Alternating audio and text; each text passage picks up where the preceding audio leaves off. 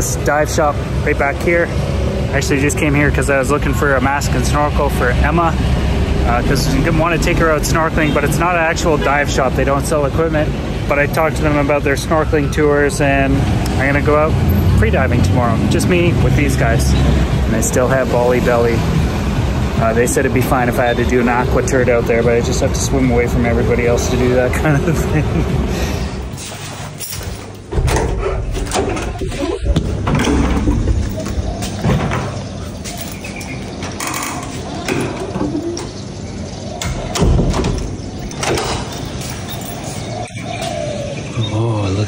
Can see that today. Wicked.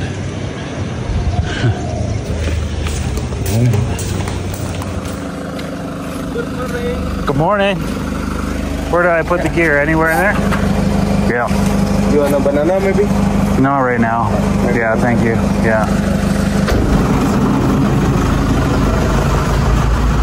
Wow, man.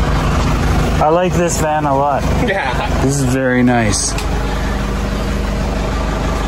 Very cool.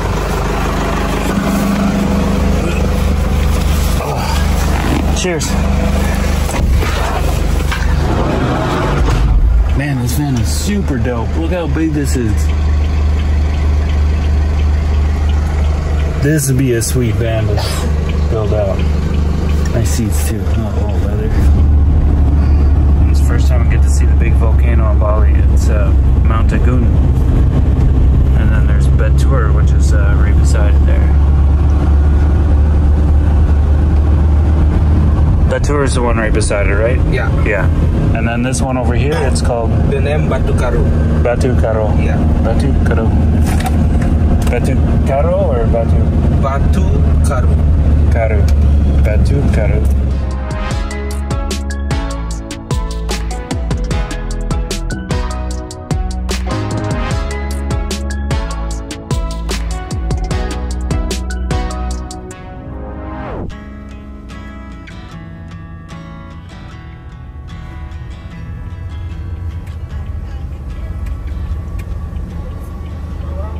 Orang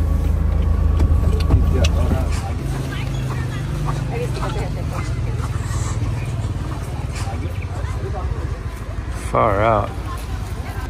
Uh, this place is super dope too. It's totally different than uh, the spot I'm living at or staying at. Uh, there's cool mountains driving in here and lots of big trees. Um, anyway, this should be pretty good. Um, go see the visibility. Probably find out when we're on the boat, but I think this is gonna be nice.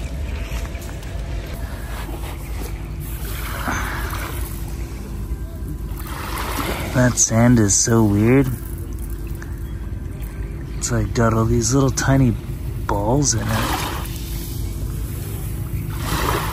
That's wild. Just like sink into it. Look at that. Cool.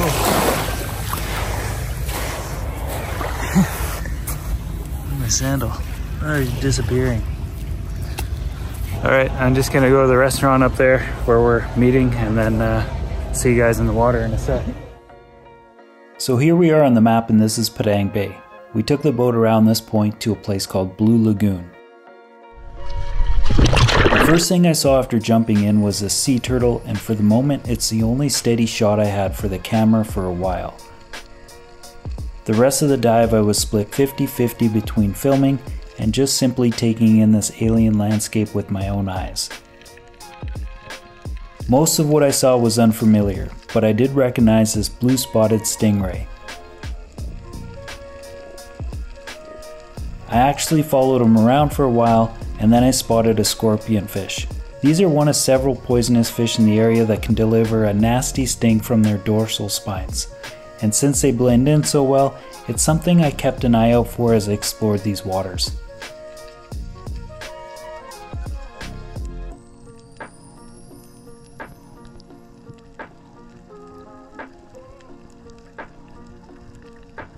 And right here I thought, man, I should have brought Chris's torch. He had given me a small diving light to bring with me on this trip so I could look in these kind of holes, but in the spirit of traveling light and keeping things simple, I decided to leave it behind. I had also left my drone behind on this trip, which is something else that I regret not having with me, but the next time I do this sort of thing, I'll be sure to pack all that stuff.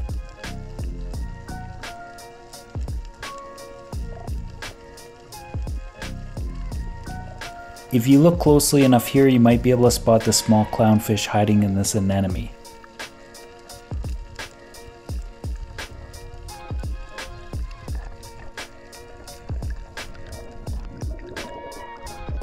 And here I'm chasing down a pretty big pufferfish that my guide pointed out to me.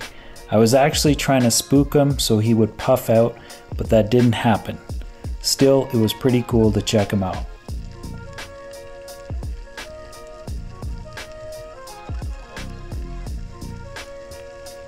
I definitely wasn't alone in these waters either. Besides these two, there were many other people diving and snorkeling all around me. I just made a point not to have them in frame while I was filming.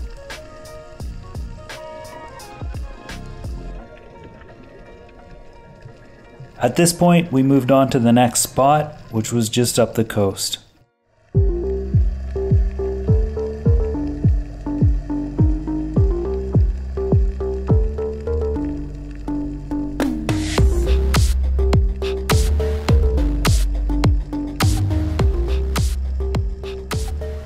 Started off in deeper water but didn't stay very long.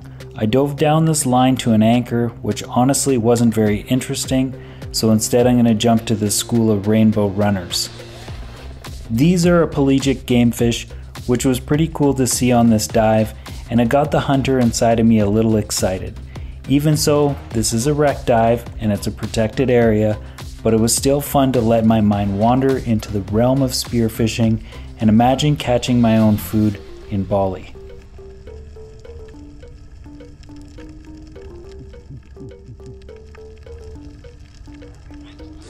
Shortly after, we made our way back into the shallow reef where things got a bit more colorful. And man, I was happy to see one of these things. This is a peacock mantis shrimp. It's worth looking up if you haven't seen one before. This guy smashes its prey with the fastest punch in the world. Besides breaking the speed of sound underwater, it can deliver a force over 1500 newtons, which is 2500 times the force of its own body weight. And right now, I think he's trying to tell me to piss off. There was a lot to check out in this spot too. My excitement had me short on the draw with my camera. There was some stuff I thought I had recorded but didn't, and then there were some things that I recorded by accident, and that footage I had to throw out.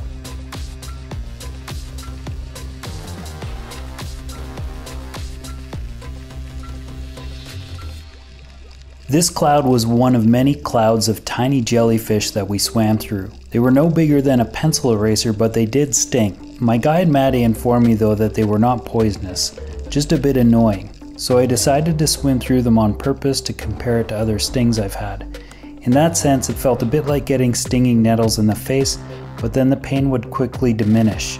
Had it not been for the wetsuit, I'm sure the experience would have been much more unpleasant.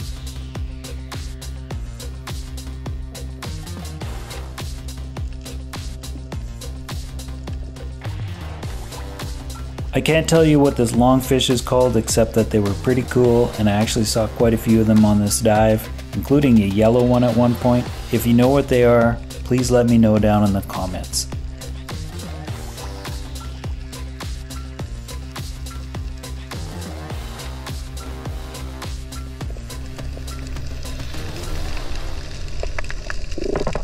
Uh, lunch was alright. Um, and just moving along, it's not much time for anything, so hopping back in the van.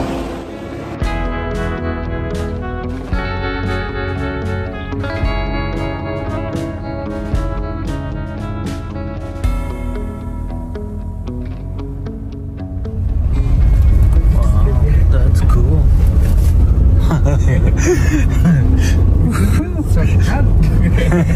I've been to Sanchez. yeah, yeah. Okay, thank you so much. Thank you today. You're welcome.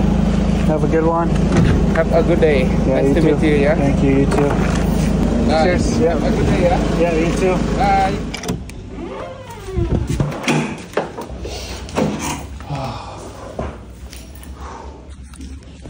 Let's close that. Whew. Here we go. My god. That was pretty cool. I need to shower and deal with stuff first before I talk about it, so hang on. The truth is, I got distracted after that and never got around to making an ending to this video. So here's a two times speed of that anchor that I dove down to. There's nothing much to it. Just checking my watch here, 16 meters. That was it.